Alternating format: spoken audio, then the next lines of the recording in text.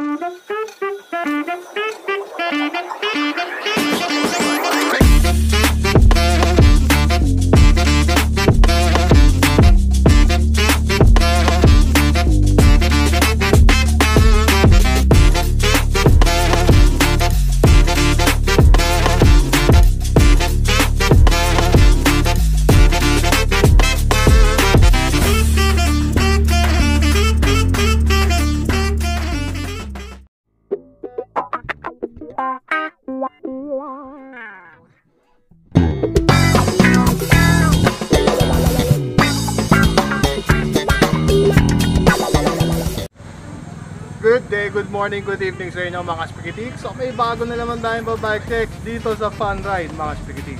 Eto, si K-Sport Predator SX. So tara, simulan na natin tong bike check na to. So eto na nga mga Spikitik, si K-Sport Predator SX. Napakaganda na itong frame na to mga Spikitik. Sobrang sulit na ito. So tara, simulan na natin to. So, pagdating naman sa kanyang uh, frame mga Spikitik, syempre alloy 6061 ang ginamit sa kanya. And then pagdating naman dito, hindi siya ganong ka-wild yung welding niya. Medyo, medyo may pagka-smooth, pero okay na okay naman. Hindi hindi siya ganong ka-smooth, hindi siya ganong kagaspang o anuman. Basta magaling yung nag-opera nito. So, para sa akin, maganda-ganda yung stability nito. At least, visible kung gaano katibay itong bike na to. So ang frame nga pala na ito mga Spikitik is tapered. Tapered na to mga Spikitik. And then dito, simula dito may pagkamalapat, panipis ng panipis. Then pagdating dito, meron naman siyang gazette support para sa seat post mo. Alright?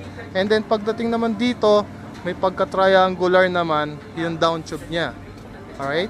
So, hindi siya bilog, hindi siya ano, ito. Yan. Then, internal cabling, isa dito, and then dalawa dito mga spikitik.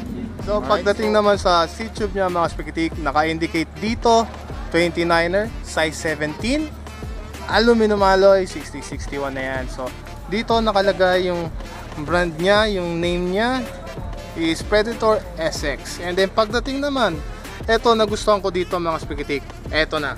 Yan. Naka-SRAM dub na mga spikitik. SX, SRAM SX ang ginamit sa kanyang crankset. Sobrang sulit na nito. Okay? And then pagdating naman sa kanyang chain, hindi ko makita yung pangalan. Pero you don't have to worry about that. Then pagdating naman sa kanyang chainstay mga spikitik, kalagay dito Kespor, sobrang simple. Sobrang simple na itong branding nito. Matte type tapos may pagka-glossy yung brand niya dito. Alright? Then, SRAM SX ang ginamit sa kanya. Alright? So, this is 12 speed mga spikitik. 12 speed na yan. Okay? So, sa cassette niya naman is 11 by 50T mga spikitik. Okay na okay to mga spikitik. Maganda sa ahonan. Alright? Napakasimple ng tunog. And then, ang hubs niya walang pagkakakilanlan mga spikitik. And then, naka-bolt type pa siya. And then, pagdating naman sa axle niya, naka-QR pa siya mga spikitik. So sayang kung naka true axle lang to, mas okay sana tong bike na to. Okay na yung pyesa niya eh. Yun nga lang, naka QR pa siya. Pero all goods pa rin para sa akin to. Ganda ng pyesa. naman sa tires niya, ang ginamit sa kanya, WTB Ranger. Same din sa rims niya mga spikitik. Ang ginamit sa kanya is WTB na rin. ZX 18P 29er. So double wall na yan. Pagdating naman sa rotor niya, ang ginamit sa rotor niya is Tektro 160mm and then syempre Tektro na rin ang ginamit sa kanyang brake calipers. Sulit na sulit na yan mga spikitik okay na okay na yan. And then mapunta naman tayo sa saddle niya.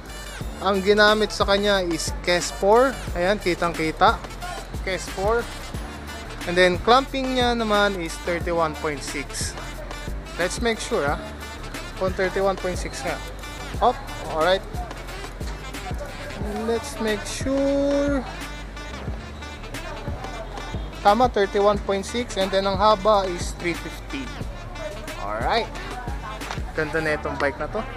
And then pagdating naman sa kanyang headset mga spikitik ang ginamit sa kanya is seal bearing na. And then stem niya is Zix. Yan. And then handlebar niya is Zix. Alloy na rin to mga spikitik same din sa kanyang stem And then, ang clamping size niya is 31.8. And then, syempre, hindi mawawala shifter niya, SRAM SX. Caliper is Tektro. Yan, napakaganda na ito mga spikitik. And then, pagdating naman sa kanyang suspension, andito yung bulb niya kung saan ka maglalagay ng hangin. So, air type na to mga spikitik. Air suspension na to. Dito naman yung lockout niya. Sobrang smooth. So, ang ginamit naman sa kanyang fork nga pala is wooding ba to? Uding o Uding. And then nga pala, nakalimutan ko. Ang hubs nga pala na ginamit sa kanya is formula. Yun, formula pala yung hubs niya. So, okay, okay na okay na rin yung hubs na yan. Kilalang kilala na yan. Kasi formula rin yung stock ng bike ko na si Q1300 Pro. Formula rin yung ginamit sa kanyang hubs.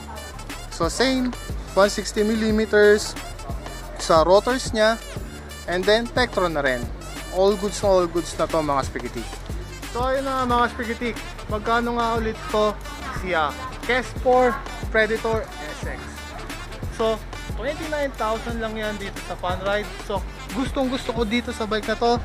Mas Dub, SRAM SX, group set niya. Naka Tektro, all goods na all goods na. Naka air suspension na yan. By the way mga spaghetti, don't forget to like, comment, and subscribe. Spaghetti the Explorer. Lalagay ko na lang in description kung saan nyo pwedeng bilhin to si uh, Predator SX. Alright? Naaabot na ako ng ulan. Ayan na. So, ayun. Mga Spaghetti, maraming salamat. Don't forget to like, comment, and subscribe. Ciao!